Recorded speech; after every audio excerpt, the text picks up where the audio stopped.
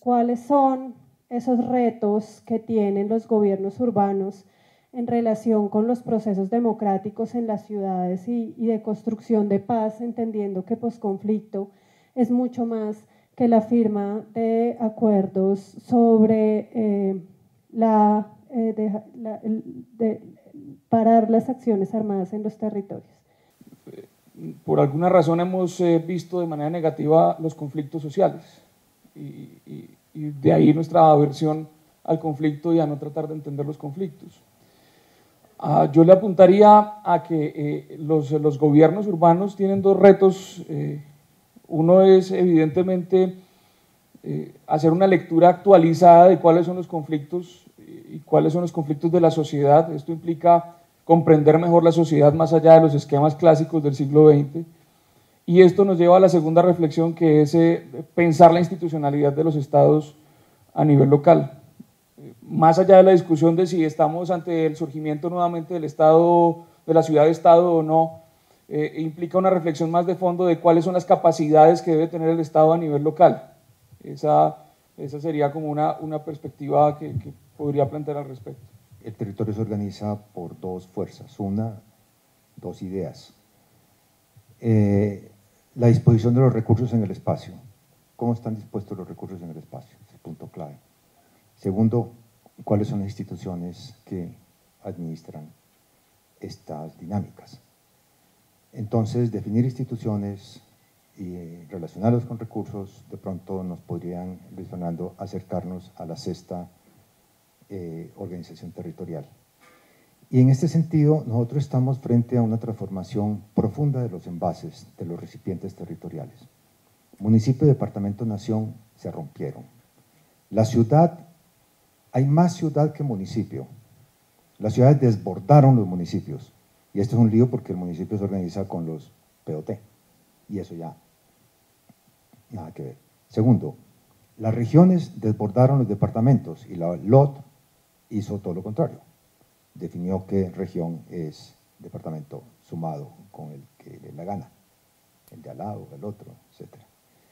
Y tercero, la nación debería contener un país. Y eso no está muy claro. De pronto somos una nación conformada, formada por varios países. Y de pronto los países contienen regiones.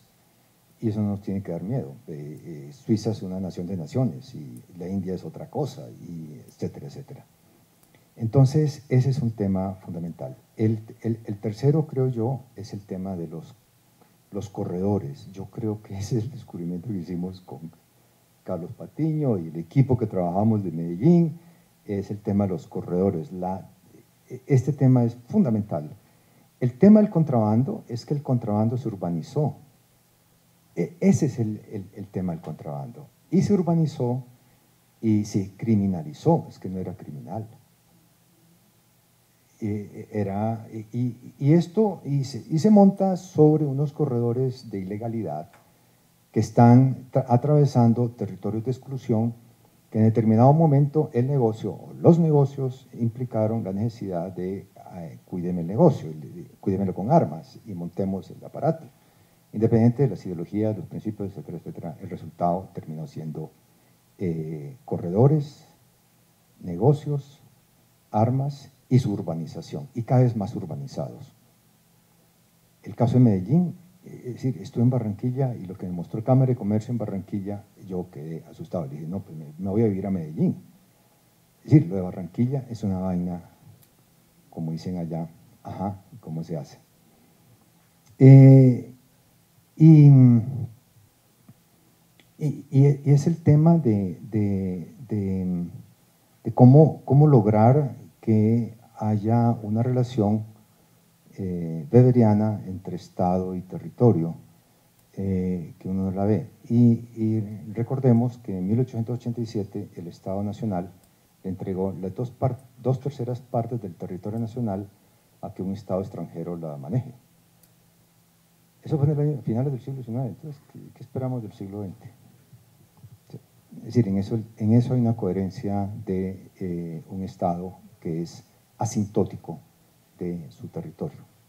Em, Pues bien, yo creo que si logramos, eh, si logramos lecturas territoriales, si logramos eh, adecuar las dinámicas urbanas, las ciudades con nuevas, nuevas instituciones urbanas, de pronto podemos darle cierto manejo a lo que se viene.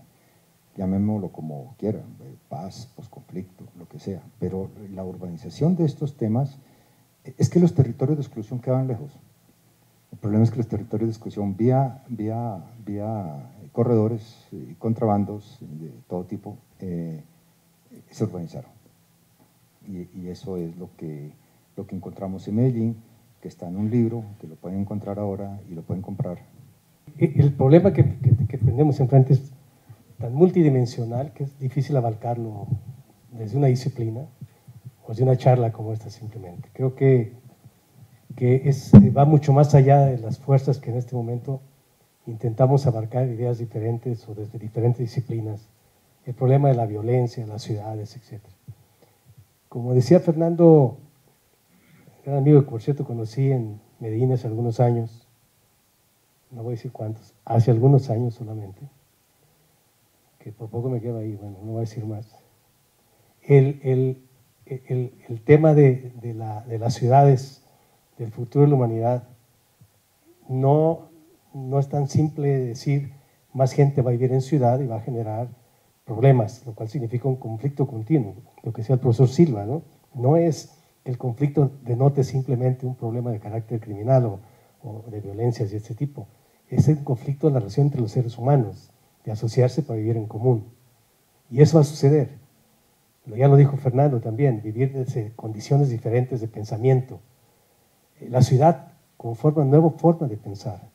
Vivir en la ciudad es transformar el pensamiento de los individuos. Ser urbano es otra cosa a lo que el mundo se está adaptando a partir de nuevos procesos científico-técnicos, tecnológicos, que están influyendo fuertemente en los comportamientos. No solamente hablar de la sociedad de consumo. El consumo tiene consecuencias sobre los territorios, sobre la alimentación. Hoy comemos lo que nos dicen las transnacionales que comemos. Eh, ya en mi tierra ya no comemos ni pingüicas, ni arrayanes, ni chamuchiles, ni nada de eso. Ahora comemos naranjas, peras, manzanas, berries, etcétera es parte de lo que está sucediendo en el mundo. Entonces, hablar de ciudades y hablar del futuro es una necesidad hoy. Anteriormente nos daba miedo hablar de ciudades porque los, tiempos eran muy largos. Entonces, cuando decía alguien, hay que hablar del futuro, no, es inútil, el futuro se construye en el camino. No, pero hoy la, dinámica del cambio es tan, exigente que tenemos que atrevernos, atrevernos a pensar en el futuro cada vez más. Como dice Stephen Hawkins, Dice, hasta cuando uno atraviesa la calle, voltea para los dos lados. Entonces, hay que atreverse y las universidades son un campo necesario, un campo importante, un campo, un campo fértil para pensar. Es el reto de que tenemos en las universidades, sobre todo las universidades públicas, bueno, todas, pero sobre todo las universidades, las universidades públicas. Es un, es un, miren, decía por ejemplo el profesor, voy a dar dos ejemplos de que estamos trabajando. Generalmente se habla de de metrópolis, sin pensar de dónde vino el término metrópoli, de dónde llegó el término metrópoli, cómo nos lo impusieron como el tema del centro histórico. Llegaron de lejos, llegaron de otros lados, de otras culturas. El término metrópoli tiene que ver con delimitaciones intermunicipales. No tiene que ver con grandes regiones en donde los ríos, las montañas, los vientos, la contaminación, la agricultura, tiene otro tipo de presencia. Un río no respeta la delimitación metropolitana, ¿sí? o se contamina o se utiliza de mejor manera. Entonces, tenemos que buscar nuevos paradigmas, nuevos elementos conceptuales, nuevas condiciones de pensamiento para poder pasar todo esto, pensar en que la metrópoli se puede manejar a partir de, modificar la constitución política de los países para eliminar la libertad de los municipios, a ver quién le entra en los, los, políticos, a ver quién le, entra, quién le entra por ahí. ¿Por qué? Porque el territorio es la, sede de la política. Y hablando de política, a los universitarios se nos ha olvidado lo que es la política. Nos han introyectado la idea de que ser político es ser malo, es ser corrupto. No. Entonces uno se vuelve centrista. ¿no? Hay que ser ambiguo, no hay que atreverse a otra cosa porque da miedo. O porque no le quieren entrar a una discusión en donde va a ser calificado de ultra X. Hay que regresar a la palabra política en las universidades, al pensamiento cotidiano. Y eso es parte de la relación necesaria en la que hay que trabajar. Quitarle el barrunto de corrupción al concepto de política. Y aparte de la metrópoli, cuando hablamos de la violencia cotidiana, miren, voy a dar un ejemplo que hemos estudiado. Ustedes saben cuántas horas pierde una persona en esperar un autobús para ir a trabajar, en trasladarse a su trabajo. Y dicen, es que los, los, automóviles y los autobuses eh, van caminando a 15 kilómetros por hora. No, no, no, no son, los autobuses, somos nosotros los que vamos arriba, los que caminamos a 15 kilómetros. Y se pierden muchísimas horas diarias de las personas. Si lo suman por semana, por mes, por año, es violentar la vida de un individuo porque está perdiendo muchas horas y muchos años de su vida productiva. Y si lo conjuntan con el conjunto, lo, suman al conjunto de la sociedad, la pérdida de horas productivas del conjunto de la sociedad de Bogotá, ayer que fuimos a cenar, por ejemplo, con Carlos, es increíble la cantidad de horas que pierde esta ciudad de la vida productiva de todos sus habitantes.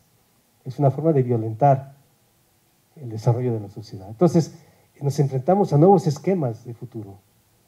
Y tenemos que pensar, miren, si yo les digo ahorita, ¿quién está de acuerdo con un escenario de cambio? les pido que levanten la mano.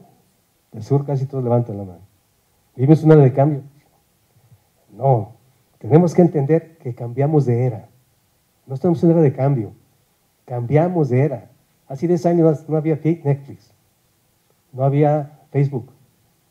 No había elementos tecnogenéticos como los que ahora. Medicina para una serie de enfermedades. O sea, ni los conflictos que están en las ciudades hoy. Si pensamos que tenemos que cambiar de era, no cambiamos de era, si esa es la aceptación, la obligación es entrarle a la discusión de nuevos paradigmas. Y es un reto para todos. Y claro, no es una tarea para impacientes. Es que no estamos viviendo una situación común y corriente, digamos. Ese es el primer punto que nos tenemos que dar cuenta. En este momento el, mundo se convulsiona toda, digamos, ah, y las cosas pasan y, el último evento fue eh, la manera brutal como eh, los poderes europeos y norteamericanos hundieron al pueblo griego. Y lo siguen pisoteando hasta que entiendan que seguimos dominando nosotros en Bruselas. De eso es de lo que se trata, en última instancia. Eso no se había dado antes, digamos. Tiene una cosa tan... Y va a pasar con Puerto Rico también. Y va a pasar contra, todo el que plantee, ¿no es cierto?, que las cosas han cambiado. Porque en última instancia lo que está planteando Grecia no es nada más que decirle a la gente, oiga, es que el sistema no funciona y ya la economía empieza a construir reflexiones contundentes. Aquí me atrevo a señalar la de, la de Piketty, si quieren ustedes mirarlo, ¿no es cierto? Para mostrar el problema es que estamos bajo un régimen que no funciona. Bueno, en relación con la parte urbana, urbana el problema fundamental es que los elementos con los cuales se quiere seguir mirando la cuestión urbana, y ahí es los urbanistas tenemos eh, una situación complejísima porque todos los elementos que hemos aprendido, no los que nos enseñaron, sino los que hemos aprendido inclusive, pues no sirven. Si no somos capaces de comprender que efectivamente lo que pretendíamos que era el objeto de estudio cambia. O sea, por ejemplo, quiero decir, Bogotá no es una ciudad con más habitantes que la Bogotá que tenía hace 40 años. Bogotá es una forma de existencia totalmente diferente a todo lo que había habido en Colombia desde siempre. Y ahí es donde hay que poner en cuestión, dijéramos, incluso la perspectiva histórica, ¿no? para, poder abrir una discusión con, Zambrano, si quieren. Si, no se comprende eso, no hay manera de entender las cosas. Por ejemplo, cuando nosotros hablamos de conflicto, y ahí vuelve otra vez la cuestión de, la, de, las ciencias sociales, ¿no es cierto?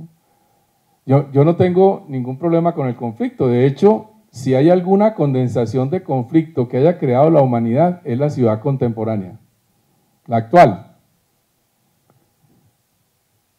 Lo que uno sí está mirando también precisamente por eso, porque se ha conformado una forma de existencia en la que hace evidente cotidianamente que tenemos diferencias y que además tenemos que resolverlos, que no nos podemos hacer los, los tontos con eso, sino que hay que resolverlos, es por lo que hay que condenar la idea de que el conflicto se resuelve por la vía armada. O sea, el problema en Colombia no es el conflicto. El problema en Colombia es que se generalizó y se introyectó que la única forma de resolver los conflictos es la vía armada. Y en ese sentido, se ha extendido a todos los conflictos. Entonces el problema que yo tengo con alguna persona que me hace evidente que yo soy más feo que él a través de una mujer, yo los elimino los dos. Pero también un negocio cualquiera de capitales lo resuelvo también con violencia armada. Ese es el problema. Y en ese sentido también las cuestiones son simbólicas. Digamos, lo que estamos resolviendo en La Habana, si vamos a plantear la cuestión en términos generales, no resuelve sino el 15% de los muertos que hay en Colombia, aun cuando vale la pena, ¿no? Gastarse uno lo que sea para evitar eso. Yo creo que sí vale la pena y acabarlo. Pero el problema también es que eso se ha utilizado para guardarlo todos los demás y extenderlos. Y en algún momento hay que resolver alguno que sea, resuel eh, eh, que, sea factible resolver. Y en ese sentido las ciudades juegan un papel muy importante, no solamente porque eh, son los receptores de todo lo que como conflicto se ha generado, sino porque establece la necesidad de establecer marcos culturales distintos de los anteriores y que afectan tremendamente la vigencia de esas perspectivas. Ese es donde está la importancia de la ciudad, porque impone, la ciudad nos impone cotidianamente y estructuralmente en términos inmediatos y en términos estratégicos que no le podemos sacar el cuerpo al conflicto y que hay que resolverlo. Y que si queremos vivir juntos, tenemos que revivir sin matarnos. Y ese es el elemento simbólico que plantea para todos los demás. Y es ahí donde uno puede resaltar la importancia de la ciudad en, esa perspectiva. Y claro, ahí pues tenemos los elementos de pensamiento, las universidades, pero claro, hay que, hay que repensarlo. La idea es simplemente Insisto, hay que volver a pensar las cosas para no paralizarnos. Es evidente que las ciudades contemporáneas colombianas hay que intervenirlas, porque las ciudades que nosotros tenemos en este momento no son democráticas, nunca han sido democráticas, no son equitativas, pero no es que no sean equitativas de ahora en adelante, es que no han sido nunca. Porque no han sido construidas en la perspectiva equitativa, ni democrática, ni ambiental, ni, ni racional. En el pasado yo creo que no hay mucho rescatable, es mi, es mi criterio.